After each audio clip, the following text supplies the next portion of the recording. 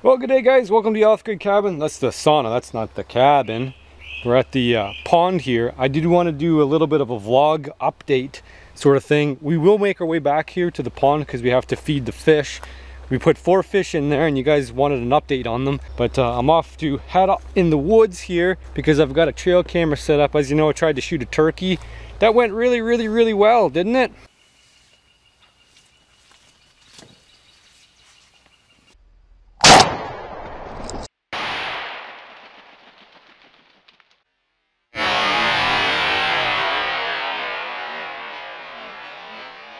Well, since I shot at those turkeys, I haven't had much sign of them coming back.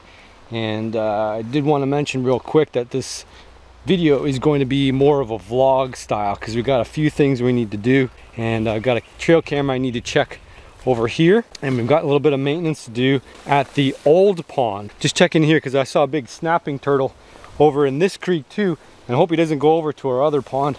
And man, are the mosquitoes out now or what? I'm getting pelted in the arms. And pardon me for vlogging my way out here, but there's more than a few things I kind of want to lay out there and get off my chest. I had so many things planned this spring. Have you guys seen any of those things materialize? I think not. The reason is because our politicians are proud of the job that they've done during this pandemic and I've done a good job of not talking about anything they're busy patting themselves on the back for having the strictest lockdowns in all of North America. They made camping illegal. So for me to go out and do my survival challenges, I have to actually go out and break the law.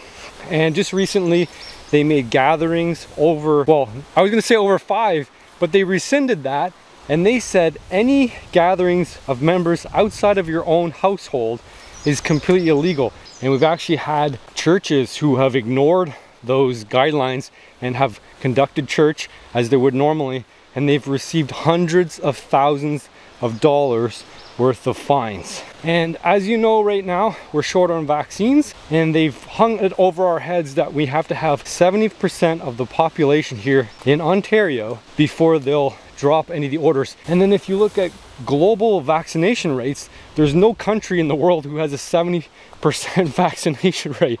So we might be locked down forever. And I may have to test whether the film and, and television exemption will be provided to me so that I can carry on with my freaking life. Because to be honest with you, I don't know. Uh, does a YouTube, is YouTube and tele film and television?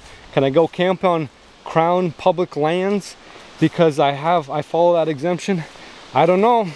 I don't really particularly want to test it in the court of law. No up to a million dollars. So you tell me do you think that's worth it? A million dollar fine for going camping? They've made it legal to protest. If you're an anti-masker and you don't want to wear a mask outside or inside for that matter and you decide to protest it, it's illegal in some of our provinces here in Canada. I gotta tell you what, I'm starting to identify more as an American every single day. So that's why I really appreciate you guys and listening to your feedback. I think if you looked up some of our laws and bylaws, you would be surprised too about what we're going through here. Anyway, here's the tarp shelter. Got a camera here. We got a few days left in the turkey season, so I did want to check to see what's going on here. Uh, er, on an earlier check, I did have a pregnant doe, which is cool. Two pregnant does actually, a coyote and two hens come by. So ever since I did that hunt out here through the blind, the turkeys They never came back, but such is life. This is the area we hunt. It's tough. They're pressured birds. If they get disturbed from an area, they're gone. So I'm gonna pull this card. I'll show you guys what we're seeing right now. And then we'll head back to the pond, feed them. And then we're gonna go to the other pond and see if we can't take care of some of the stuff that I've been aiming to do throughout this lockdown, which is, you know, keep local, but still keep busy and still keep doing adventures. So I hope you guys can appreciate that. Well, for anybody who left a comment saying this would make a pretty good greenhouse, they weren't wrong. We've got uh, ferns growing up through the floor. So they've managed to find a little crack or crevice to grow through, which is pretty freaking neat. And then uh, of course the blind's looking pretty good, but it's about to lose all the needles. So we'll have to brush this guy back in by the time, you know, the fall season runs around if you want to get a deer out of here. But uh, look how green up it is. This is full throttle spring now. And uh, mosquitoes are loving the heat and humidity out here. but I'm not so much. I really think we're gonna have to put the hammer down on those raccoons this fall, get the traps out here. We got a bunch of dog proofs we can put out. We really got to thin the population. That's gonna help the turkeys out because the, the raccoons really like to raid the nests. And of course, they're happy to pick off little chicks all they can. So if we can drop that raccoon population down, we can help the other animals here, the more desirable ones. A lot of you guys have been giving me invitations to come up to the US. I really do appreciate the offers, but uh, we can't travel. We can't go across the border. They've locked that up completely. If I go over and come back, I have to spend two weeks in what we call a quarantine hotel at my own expense for two weeks, up to two weeks. If I test negative, I can spend three days. Again, it's about 200 bucks a night. And if I'm test positive, I gotta serve my full two week quarantine in the hotel at my own cost, no matter what circumstances I happen to have. Even if I live by myself, our government of Ontario actually asked for a seven month extension to the emergency measures. So yeah, I'm pretty, I'm pretty, I'm pretty concerned. I'm pretty frustrated. She just saw a fish jump here in the pond grab the fish food, toss them in there. As you know, when we put these four fish in there, they were belly up and white. Oh, these guys are not doing good, dude. This guy's on his last breaths, man. I'm flopping over here. And I was pretty concerned that they would make it, but I let them sit on shore for four, I think it was four or six hours monitoring really closely. I'm happy to say that all four of them still alive today. And that's amazing. Yes, the fish were fragile. They were rough condition when we put them in there, but they actually made it. We got only about three feet of water in this pond, but it's pretty cold. So we're gonna fatten these up for about a couple of months and then we're gonna eat them. That's the goal. I wanna see how chunky I can get them in just a short period of time.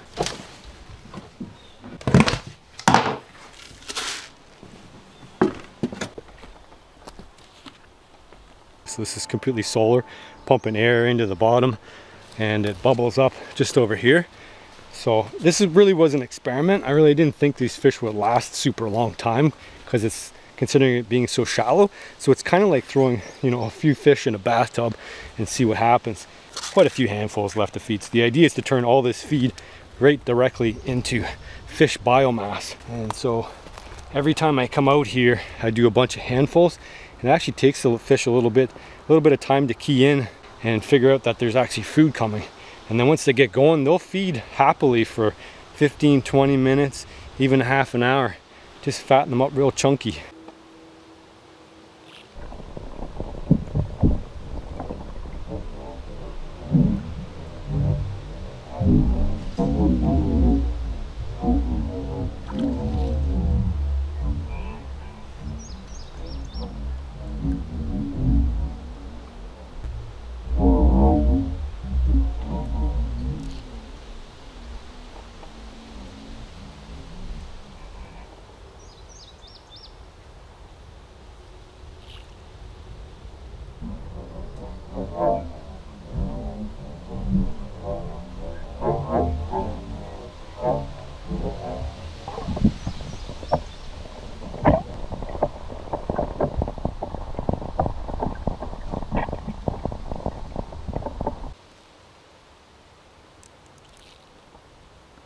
Well, hopefully the underwater camera, you guys caught a glimpse of them. They've been a lot more active than they have been today. So I don't know if it's probably, it's, it's a continuous number of hot weather days. It's going to drop down again, but trout are cold water species, so they like things to be cold. And it's been, it's been tip, un, unusually warm, put it that way.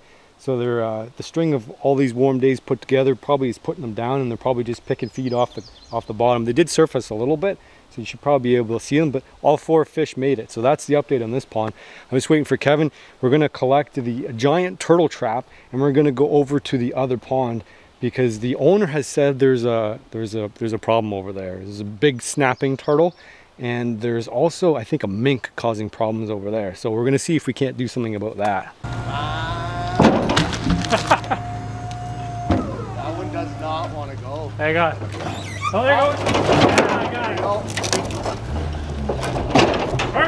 So found Kevin up here, just got a load of uh, wood dumped off for probably one of his projects. Who knows what the heck he's up to. But I got the advanced trap here. This is the this is the beast that's going to be trapping our predators in the pond. I got a little bit of assembly required. But uh, I needed Kevin with this truck. So I, only have I only have a Toyota Corolla. Excuse me, I'm I'm not the I'm not maybe I'm just not overcompensating. Maybe that's what it is. I drive a little reasonable on gas car. And so this well actually would fit in my car at this point and uh, actually looks like it's cleaned off a little bit. Before it was all full of raccoon poopies and things like that. So I really want to put it in the back of my car. When we get this loaded up, we're gonna head over to the other pond. I'll meet you guys over there.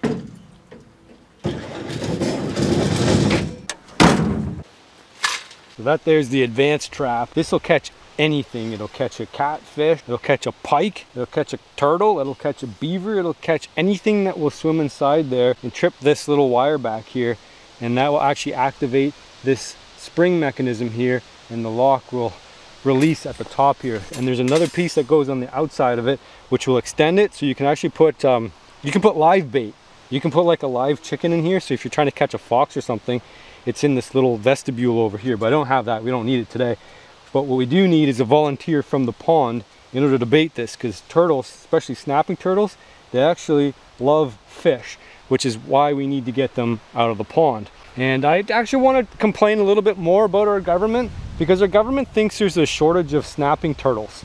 So what I would love more, nothing more, is to actually catch one of the snappers out of here and turn it into a meal because I got to get rid of them anyway. The owner wants them gone because they're eating the fish. But uh, yeah, our government thinks there's a shortage of snapping turtles. Yet every lake I go to, all throughout Ontario, there's always a snapping turtle. I don't think they put any research or any effort into figuring out how they were endangered or why there weren't that many of them or why they thought there wasn't that many of them. They just said, well, they grow slow and so we shouldn't, uh, we shouldn't disturb them or eat them for any reason whatsoever. And you, trust me, there's not a lot of people in Ontario who actually even bother to eat the snapping turtles. So I'm blabbing on about the fact that we're basically going to try to catch this snapper that lives in the pond and we're going to move into another location to save our trout because uh, they've got to be eating at least one or two every once in a while. And I'm told there's actually a mink in here too. So let's see if we can get a volunteer for our trap. We got our Mystery Tackle Box here. Always like to try to fool around with these trout a little bit because we can afford to. So I'm wondering if I should use one of these giant crankbaits because this is what this is going to be a catch and keep kind of deal. For ultimate casting, the tournament grade pike or walleye, 100%. The hooks are nice and sharp. Jumper 110 on some six pound trout line here.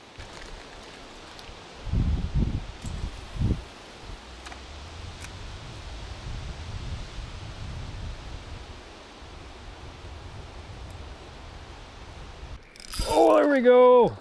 Oh, beauty. Slugged it. Ah, she's gonna be all wrapped up in the all wrapped up in the trebles. But that's okay. That's why we that's why we're careful what we use when we uh, decide to go for trout. I don't know if I foul hooked that guy or not. looks like I might have fouled him. Maybe he just missed the he missed the business end of it, but hey, that's how she goes. it worked. There you go. Hooks out. give him one knock. Two knocks. Once you get that fish quiver, you know he's dead. Here we go. Okay, let's get the guts. That, that was too much fun. I gotta I gotta try one more. That was only three, two, three, two, three casts. I don't know what it was. Too easy. Catch one more because that's not enough food for uh, me and Courtney. And Holden doesn't eat fish. Ask me if I'm disappointed.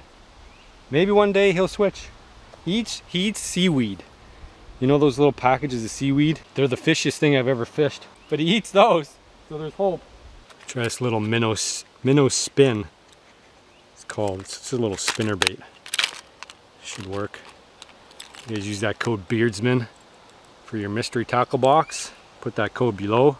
If you're looking to build up your tackle box, it's a good way because uh, every month you're going to get a bunch of stuff, a bunch of cool stuff. It's always a mystery.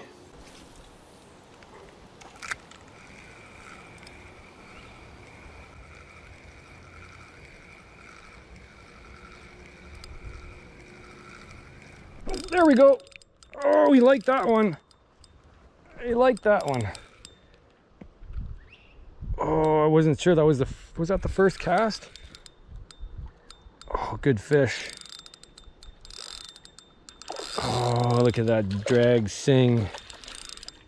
Nice, now we gotta reef them up. Should have a net here, but we don't. There we go. We got him. Fish number two. Just gotta change the bait up, guys. They're smart. They watch their buddy get caught and they're like, I don't want to get caught too. It's another good size one. This is the second year on these uh, trout in this pond. You can see how well they did. These came as like five, six inches, so they've doubled in size and they're gonna double in size again. That's a nice rainbow. And these things fight strong too because they're, they're, they're fed well with the pellets. We'll toss a few pellets in there at the end. Let's get this unhooked, we'll get the guts out, and then we can uh, get to catching a turtle. Look at that, look at that rainbow, beauty. There we go, one shot deal, all the way. And then we'll have something to hook into the, the trap. We can hook the gills here in the trap and let that dangle in the water. And that'll be a really good attractant for the turtle.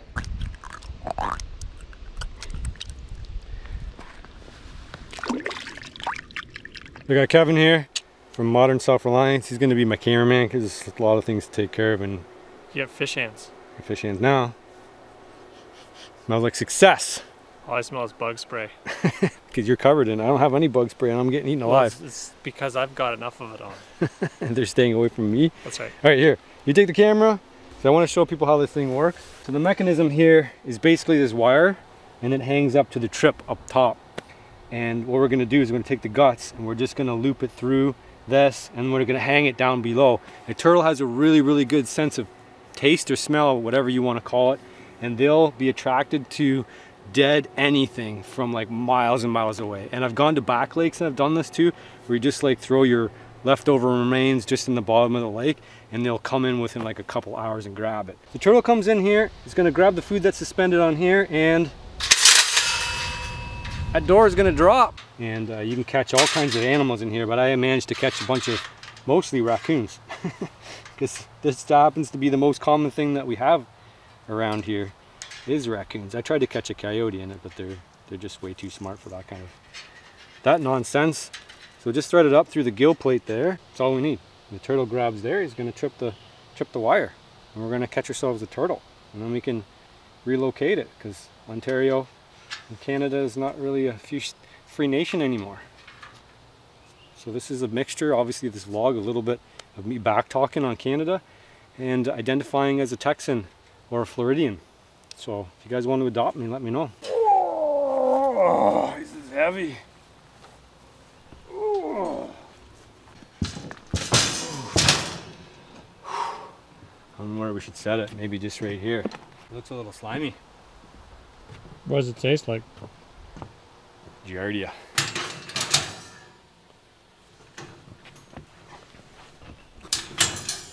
Well, the question is, uh, can we drop it in the water without setting it off, or do I got to go in the duck poo?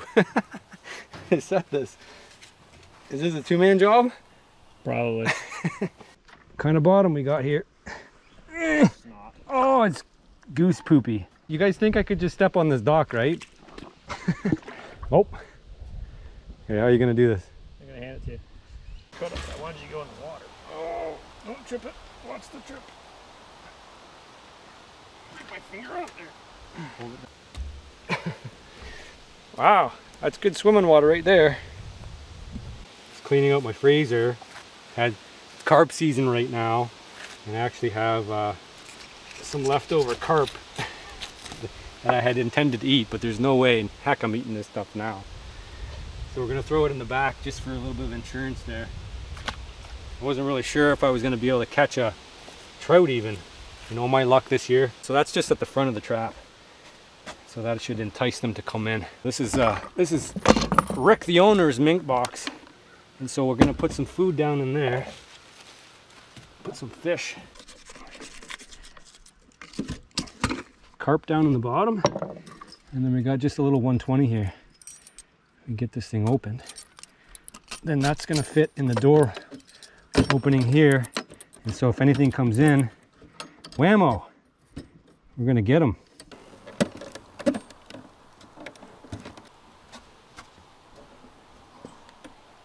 Oh, I don't want to be catching any skunks or raccoons or pet cats. Keep it having to be by. So what I'm gonna do is I'm gonna put it on the floating dock over here. And then that way, the only thing that can really get there is an aquatic animal. So if it'll have to swim up and jump on top and run across and grab it. As long as this trap doesn't set off, I'll be very happy. Okay. Okay. That's kind of flat there. And then uh, we're gonna tie this off. I just found a, I don't have any trap wire with me, so we got this thing. We can tie it off to here. String there. There we go. Let's see if that works. We'll check back in. Oh, I just I just about forgot. I wanted to set the camera up too here. So we got the Aqua-Vu set up and it's got it's oriented into the trap here on a little tripod. It's kind of jerry rigged. It's not, you know, nothing fancy here. Tripod with the Aqua-Vu fashioned on the leg, aimed up in there. So hopefully we'll see that turtle swim up there and we'll see the money shot where the, the door clamps shut on it. So that's something to look forward to. We have a limited amount of battery power. It's not going to be action based on movement or anything like that. So when we're out of record time, we're out of battery power, this Aqua-Vu is just going to shut off. It's just going to leave it on the dock and let it do the work for us. So we'll, uh, we will set this off before we go. I don't know how many hours it has to record. It looks like it's got three hours. I'll see you guys tomorrow. Hopefully we're successful and get rid of some of our pond predators. Enjoying the rain? It's been like 50 years since it's taken this long to rain, so I'm enjoying the rain. I, I hope the pollen gets cleared out.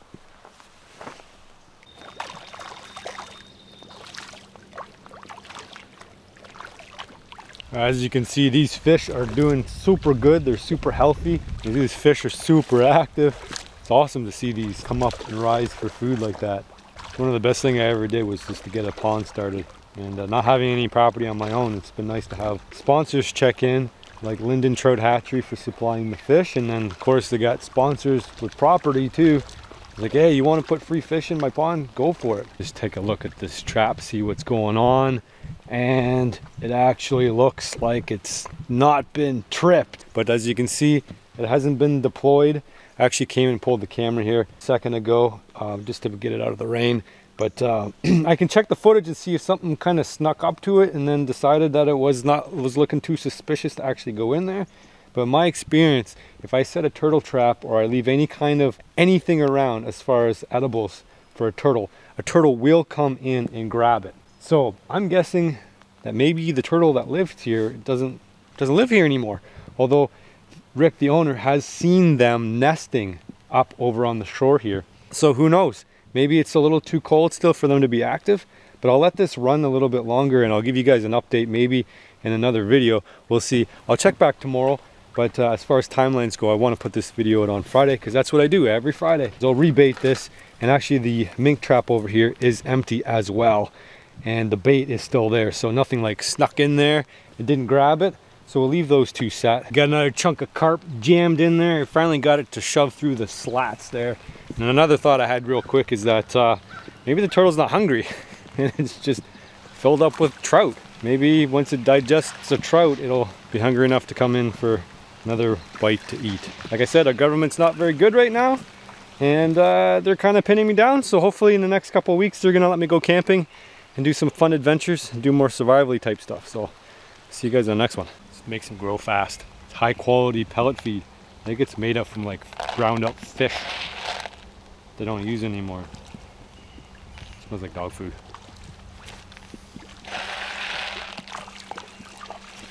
Look at them go! I love that stuff. There we go, fatten them up. Some delicious trout.